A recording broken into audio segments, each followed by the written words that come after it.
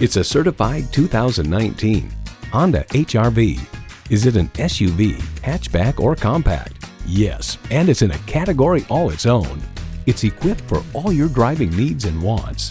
Inline four-cylinder engine, front heated bucket seats, Bluetooth streaming audio, air conditioning, adaptive cruise control, active noise cancellation, express open and closed sliding and tilting sunroof, Apple CarPlay Android Auto, and continuously variable automatic transmission.